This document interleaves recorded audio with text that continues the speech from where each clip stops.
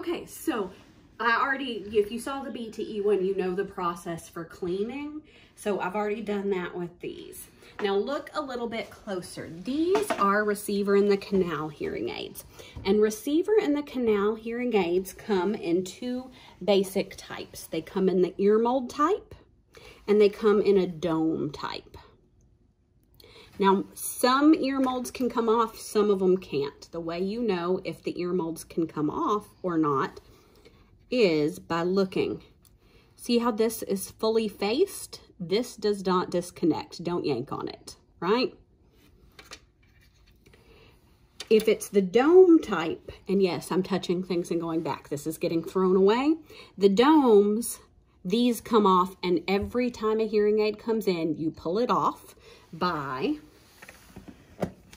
using a wipe or an alcohol wipe like you know what I'm talking about, alcohol prep pads, because when you grab it, you kind of need to dig in with your thumbnail. Never do that with a bare thumbnail because how are you going to get that earwax out of your thumb? How? You can't. So when it's attached to something, you would take a wipe and grasp it firmly to yank it that way, right? That's the dome kind. You have to pull those off to replace them and also to get to this wax basket. So,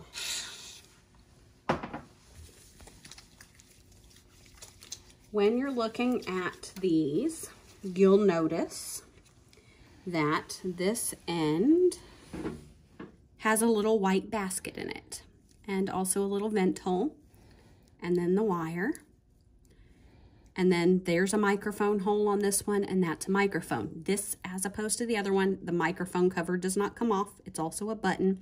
But microphone, microphone, they'll need to be vacuumed. You can't replace that. So, with clean hands and whatnot, you think, well, what parts do I need? The only part this particular one needs is the wax basket. So you pull a thing of, wrong ones, you pull a thing of wax baskets out.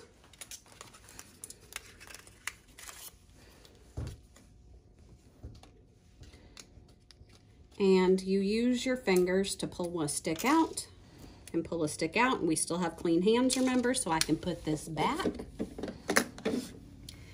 So that's out. I'm going to ponder and think, do I need to grab anything else? No, I think I'm okay, right?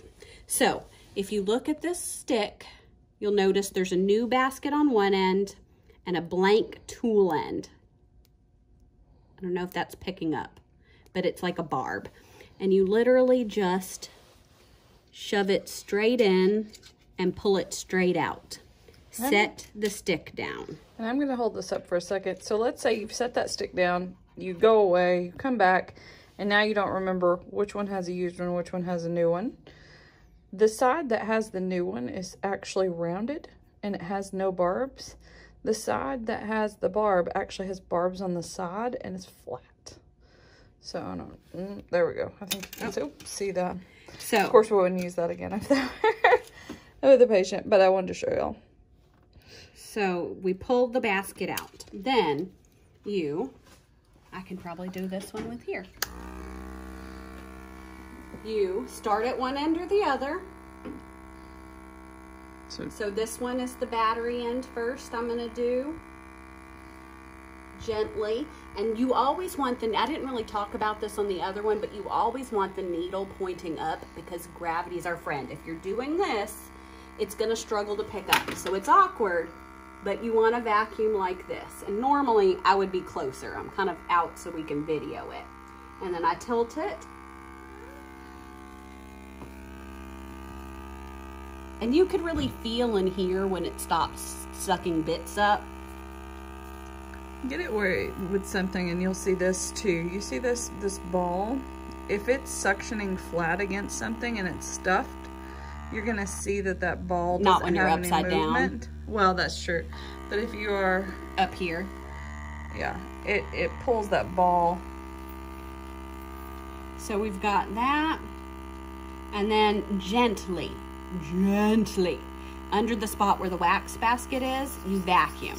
And you think, oh, well, it has that filter. What do I need that for? Have you ever opened your window and it has a screen, but you look and there's dead bugs on there? That's because the filter isn't perfect. So, gravity being your friend, gently, gently. In some patients, that'll be way worse than others. Mm-hmm. Uh, but you never want to dig in because that, again, is your actual receiver port. So your sound's coming from there and you can't damage that. And then this is a vent hole. It goes all the way through. You want to strategery. I know it's my favorite made up word. It's excellent, right? Um, you want to be strategic. That's the proper one. Um, and suction from where the wax is closest if possible. Don't try and suck the wax all the way back this way. Start from where it's close. And usually that, of course, is going to be on the side that's gone into the ear. Now, not always, but for the most part, that's Depends on how they clean. Now, did you hear that change? It's stopped up. It stopped up. So sometimes you just wipe it with your wipe, fold it, fold it, don't have that out, right? And it pulls it off. Yep, changes the pitch back to a lower tone. So if you hear it go to a higher pitch and stay there, you're probably stuffed up. And if you didn't notice that, I'm not touching my ear. People used to think I was touching my ear. I'm literally pulling it up to listen for the whistle. Where's your microphone at? I have honestly no idea.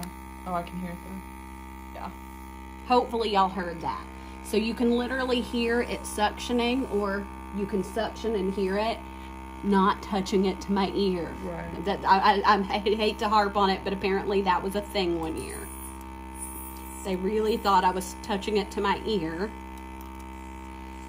Sometimes those uh, vents are really curvy because the person's ear is really curvy and it may be more difficult for you to suction. In those cases, you can use a vent cleaner, but if we're going to use those, we probably need to uh, use the kind that are going to be cleanable, like the plastic filaments, Or you'll have to throw them away. or throw them away. Um, you can use a bit of fishing line too. That works. Bridge floss or actual um, pipe cleaners if it's big enough. Yeah. And that doesn't happen too often, but there are cases where you have somebody who's just got a really sharp bend, and so does the uh, ear mold, and, And if it's you're worried before suction. switching to a microphone, you can always come back and wipe this off in case there's any bits and bobs. It doesn't hurt anything. You notice it was inside the fold. And that's actually why I personally always start from top down because usually the bottom parts in your ear molds are nastier. But that's not always true. Especially if your patient uses a lot of hairspray or makeup, mm-hmm. that can be pretty nasty itself. So, and I did. Sometimes I do the vent first. Sometimes I do the receiver first. It depends on which one looks dirtiest. So sometimes people's receivers are super clean looking and the vent is not, and sometimes it's the other way around. Now, see, some of this crud just came over. It's out. It's out. We don't need to like do. We can literally wipe that off instead of trying to suction. And again, and block it up. yeah, because it's already out. I can reach it.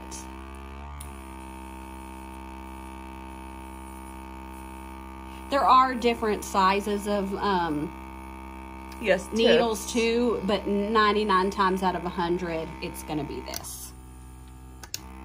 Oh, and that's the other thing. This one has vacuum and pressure. We can talk about that a little bit. So I use pressure quite a lot under normal circumstances. Um, we're not really sure about whether COVID lives in earwax.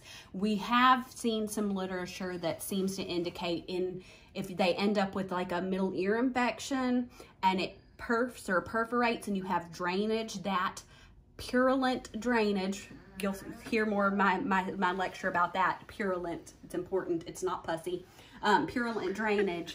Um, might it might hold COVID. So then if you're using a blower and it goes up, it's a problem. Um, but they have actual pressure. They- Um, And I will say the other good thing about pressure is if you've got something you stuck, done? uh, if you've got something stuck in there and your your thing is clogged up, sometimes turning it to pressure will push it out as well. But Well, you just want to make sure. these make are two sure. different ones. Um, so if you're going to use pressure, put the end that's going to be out, embed it in either an alcohol um, thing or a cloth, put it in something, and then use the pressure so that it's not blowing it in. And that's not just for COVID. This is what I say all the time. I'm just saying be cautious. So sometimes that works for the vent. Sometimes if you're out of needles, you can take the needle off, switch it to the pressure. Again, put the needle in something or put it in a trash can. Don't just, I'll, definitely don't face it towards your eye, a real thing somebody did. Just be careful with that. So we're all cleaned, right? We can switch and again, the fat thing and it pushes in. Remember that rounded side with no barb is the side you're going to put in. That's the new one. And then we put the battery back in. Same on this other one. And we handled the listening check just the same way as we did the BTE. And clean up. So, So all the same way. I think we're That's it. good. hmm